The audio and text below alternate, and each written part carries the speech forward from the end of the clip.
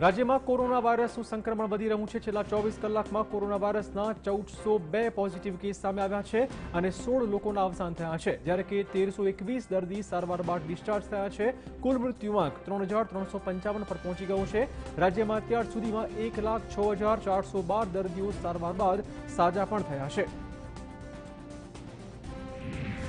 ખરીફ સિઝનમાં ત્રીસથી સાઠ ટકા પાક નુકસાની હશે તો રાજ્યના ખેડૂતોને પ્રીમિયમ ભર્યા વગર હેક્ટર દીઠ વીસ હજારની સહાય મળવાપાત્ર છે આ અંગે કૃષિ પ્રધાને કહ્યું છે કે કિસાન સહાય યોજના અંતર્ગત ખેડૂતોને હેક્ટર દીઠ વીસ હજારની સહાય આપવામાં આવશે જ્યારે કે સાઠ ટકાથી વધુ પાક નુકસાની હોય તો હેક્ટર દીઠ રૂપિયા પચીસ હજારની સહાય ચાર હેક્ટરની મર્યાદામાં આપવામાં આવશે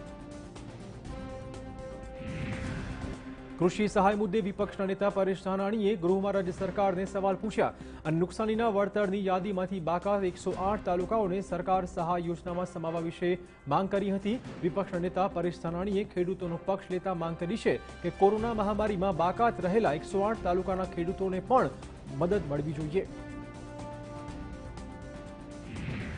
વડોદરા જિલ્લાના ચાર ધારાસભ્યોએ સીએમ વિજય રૂપાણી સાથે મુલાકાત કરી હતી કેતન ઇનામદાર શૈલેષ મહેતા જશપાલસિંહ ઠાકોર અભયસિંહ તડવી સીએમને મળ્યા હતા અને કૃષિ પેકેજમાં વડોદરાના અસરગ્રસ્ત તાલુકાઓને ઉમેરવાની પણ તેઓએ માંગણી કરી હતી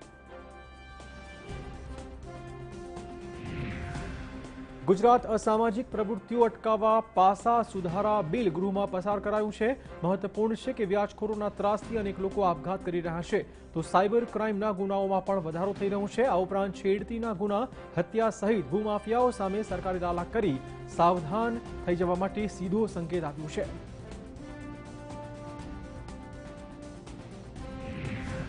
કચ્છમાં વરસાદની વધુ એક ઇનિંગ ભુજ તાલુકાના કુરબઈમાં વીજળીના કડાકા ભડાકા સાથે ધોધમાર વરસાદ પડ્યો હતો કુરબઈમાં પિસ્તાળીસ મિનિટમાં લગભગ બે ઇંચ વરસાદ પડ્યો છે ભારે વરસાદના કારણે રસ્તા પર નદીઓ વહેતી હોય તેવા દ્રશ્યો સામે આવ્યા હતા વાહન ચાલકો અને રાહદારીઓ પણ મુશ્કેલીમાં મુકાયા હતા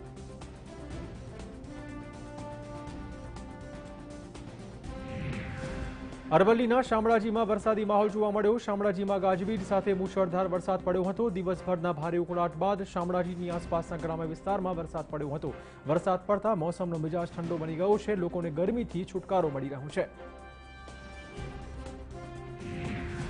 અમરેલી જિલ્લામાં વરસાદી માહોલ જોવા મળ્યો છે ત્યારે જાફરાબાદ તાલુકાના બાબરકોટ નર્મદા સિમેન્ટ કંપની પર વીજળી ત્રાટકી હતી માઇન્ટ વિસ્તારમાં વીજળી પડતા કોઈ પણ પ્રકારની જાનહાનિના સમાચાર નથી રાજુલા જાફરાબાદ સહિત આસપાસના તાલુકાઓ અને ગ્રામ્ય વિસ્તારોમાં પણ વરસાદી માહોલ આજે જોવા મળ્યો હતો